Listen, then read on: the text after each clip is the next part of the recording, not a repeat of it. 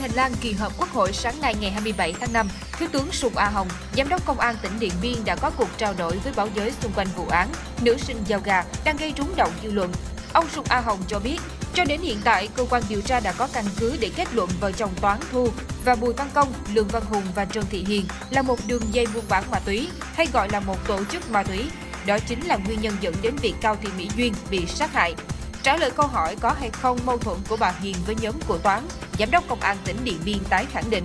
đường dây buôn bán ma túy chính là nguyên nhân trực tiếp dẫn đến việc Cao Thị Mỹ Duyên bị sát hại. Song cho biết, cơ quan công an đang tiếp tục điều tra và khi có đủ tài liệu chứng minh cho các hành vi khác thì sẽ khởi tố bổ sung hoặc mở rộng vụ án.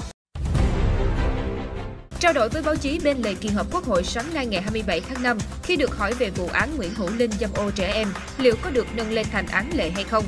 Chánh án Tòa án Nhân dân tối cao Nguyễn Hòa Bình trả lời, vụ án chưa xử nên không thể biết nó có trở thành án lệ hay không. Hiện vụ án đang trong quá trình tố tụng nên phải tôn trọng quá trình tố tụng. Chánh án Tòa án Nhân dân tối cao mà nói gì về vụ án khi đang điều tra chưa xét xử là vô tình can thiệp vào quá trình tố tụng. Nên tôi không thể phát biểu gì ở thời điểm này được, phải tuân thủ độc lập từ sơ thẩm. Chúng ta bàn với nhau khi chưa có hồ sơ là không nên. Công an tỉnh Sơn La vừa kết thúc điều tra giai đoạn 1 vụ án gian lận điểm thi tại kỳ thi Trung học phổ thông quốc gia năm 2018 trên địa bàn và đề nghị truy tố 8 bị can về tội lợi dụng chức vụ quyền hạn khi thi hành công vụ. Với 44 thí sinh được nâng điểm, cơ quan công an làm rõ đường dây nâng điểm có tổ chức, chỉ đạo từ lãnh đạo Sở Giáo dục Đào tạo tỉnh Sơn La tới một số phòng ban đơn vị liên quan Cơ quan chức năng xác nhận ông Trần Xuân Yến, cựu phó giám đốc Sở Giáo dục Đào tạo tỉnh Sơn La, là người phụ trách tổ chức kỳ thi Trung học phổ thông quốc gia năm 2018 tại tỉnh Sơn La. Khai có nhận được sự gửi gắm của cấp trên là ông Hoàng Tiến Đức, giám đốc Sở Giáo dục Đào tạo tỉnh Sơn La để nâng điểm cho 8 trường hợp. Trưa ngày 27 tháng 5, Công an thị xã Dĩ An đang phối hợp cùng các phòng nghiệp vụ Công an tỉnh Bình Dương vẫn đang phong tỏa khám nghiệm hiện trường, tử thi, lấy lời khai các nhân chứng, điều tra làm rõ vụ người chồng cùng vợ đang mang thai và con nhỏ 3 tuổi tử vong trong căn nhà khóa trái cửa ở khu vực. Qua kiểm tra, vợ chồng anh C, chị H cùng người con nhỏ 3 tuổi đã tử vong. Tại hiện trường, anh C chết trong tư thế treo cổ, chị H và con nhỏ tử vong dưới nền nhà. Một số người dân địa phương cho biết anh C làm nghề giao sữa bắp, chị H làm nghề bán trái cây ở gần phòng trọ. Được biết chị H đang mang thai tháng thứ 8 và sắp sinh. Ngày 27 tháng 5, Chi cục chăn nuôi và thú y tỉnh Sóc Trăng cho biết, trên địa bàn tỉnh vừa phát hiện một ổ dịch tả heo châu Phi tại xã Thành Phú, huyện Mỹ Xuyên với tổng đàn 55 con. Ngành thú y và chính quyền địa phương đã tiến hành tiêu hủy đàn heo theo quy định, với tổng trọng lượng tiêu hủy trên 2.350 kg. Nguyên nhân ban đầu được cho là hộ chăn nuôi nhỏ lẻ, nhưng chưa tiêm phòng đầy đủ các bệnh truyền nhiễm nguy hiểm, chưa áp dụng chăn nuôi an toàn sinh học, con giống được mua từ nhiều nguồn khác nhau. Chủ hộ có sử dụng thức ăn viên và thức ăn thừa, chưa qua xử lý để cho heo ăn.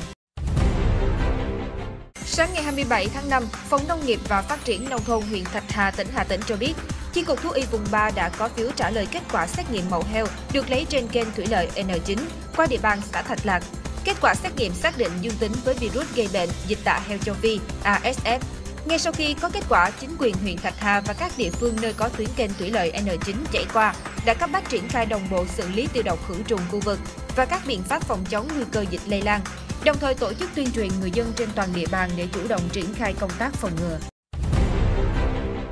Bộ Giao thông Vận tải đang lấy ý kiến dự thảo nghị định sửa đổi bổ sung một số điều của Nghị định số 46 trên 2016 quy định xử phạt vi phạm hành chính trong lĩnh vực giao thông, đường bộ và đường sắt. Trong đó, Bộ này đề xuất tăng nặng mức xử phạt nhiều hành vi vi phạm trên đường cao tốc. Cụ thể, hành vi lùi xe trên cao tốc có mức phạt 16 đến 18 triệu đồng và tước giấy phép lái xe 4 đến 6 tháng. Quay đầu xe trên cao tốc có mức phạt 7 đến 8 triệu đồng và tước giấy phép lái xe 4 đến 6 tháng. Chuyển làn không đúng nơi cho phép hoặc không có tín hiệu báo trước có mức phạt 2 đến 3 triệu đồng và tước giấy phép lái xe 2 đến 4 tháng. Không tuân thủ quy định về khoảng cách an toàn có mức phạt 1,2 đến 2 triệu đồng. Bộ Giao thông Vận tải cũng đề xuất tăng mức xử phạt lên 7 đến 8 triệu đồng và tước giấy phép lái xe 4 đến 6 tháng đối với hành vi không tuân thủ các quy định về dừng xe, đổ xe trên cao tốc. Mức phạt đang áp dụng là 5 đến 6 triệu đồng.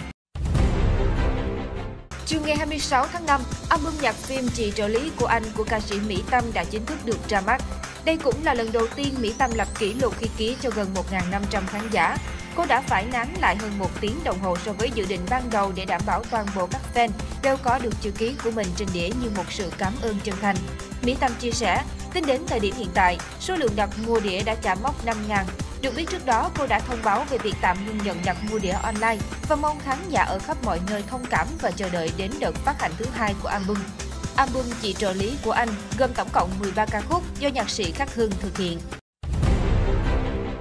Theo The Justquery, ngày 26 tháng 5, cử tri tại 21 nước thành viên Liên minh châu Âu EU tham gia ngày bỏ phiếu quyết định trong cuộc bầu cử Nghị viện châu Âu EB. Dù 7 trong 28 nước EU đã bầu, song ngày 26 tháng 5 được coi có ý nghĩa quan trọng khi cử tri các nước lớn như Đức, Pháp, Italy, Tây Ban Nha cùng bỏ phiếu. Trước đó, từ ngày 23 đến ngày 25 tháng 5, lần lượt cử tri Hà Lan, Anh, Ireland, Malta, Slovakia, Latvia, Séc đã bỏ phiếu bầu người đại diện quốc gia mình tại cơ quan lập pháp châu Âu. Kết quả chính thức dự kiến công bố vào cuối ngày 26 tháng 5 theo giờ địa phương.